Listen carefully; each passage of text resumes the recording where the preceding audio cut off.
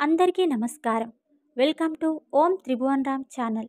లోకంలో మధురాతి మధురమైన పిలుపు అన్నయ్య అన్న పిలుపు. సూర్యభగవానునికి యమున కూతురు. యముడు కొడుకు. యమున ముందుకు వెళ్ళిపోతుంది. వెనక్కి రాదు. కాలమునకు గుర్తు యమున.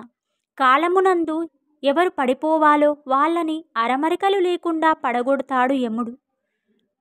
ఆ యమునకి ఒక కోరిక ఉండేది. అన్నయ్య వస్తే బాగుండు అని.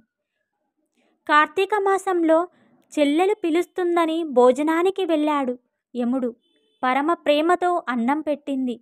భోజనం చేసి చెల్లెలిని అమ్మ ఏం కావాలి? ఇస్తాను అన్నాడు. చెల్లెలు అన్నయ్య నీ పేరు చెప్తే లోకమంతా భయపడుతూ ఉంటుంది. నువ్వు ఎంత ధర్మరాజువైనా ఎంత ధర్మాత్ముడివైనా మీ అన్నయ్య యమధర్మరాజు గారండి బాబోయ్ అంటారు. అందుకని నిన్ను నేను ఒక వరం అడుగుతున్నాను. కార్తీక మాసంలో వచ్చే శుక్లపక్ష విధియనాడు నువ్వు నా ఇంటికి వచ్చి భోజనం చేశావు. ఏ అక్క చెల్లెళ్ళ ఇంటికి ఏ అన్నదమ్ములు వెళ్ళి అన్నం తిన్నా వారి జోలికి నువ్వు వెళ్ళకు. అపమృత్యు దోషం ఇవ్వకు.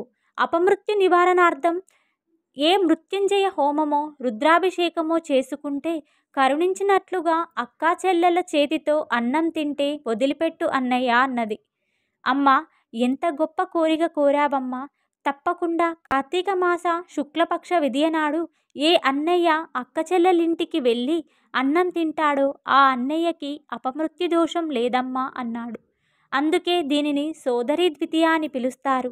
అన్నదమ్ములందరూ అక్క చెల్లెల ఇంటికి వెళ్ళి అన్నం తిని సంతోషిస్తారు.